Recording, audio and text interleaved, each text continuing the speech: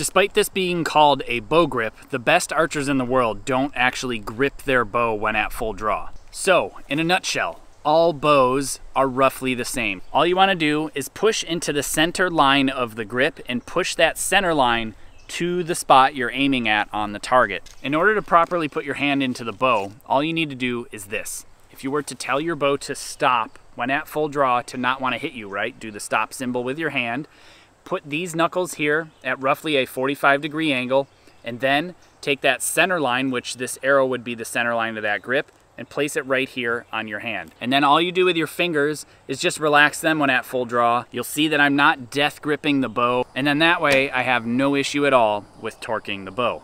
One other quick thing to reference on your hand is your lifeline. My bow grip never goes to the pinky side of my lifeline. It is always only on the thumb side of my lifeline.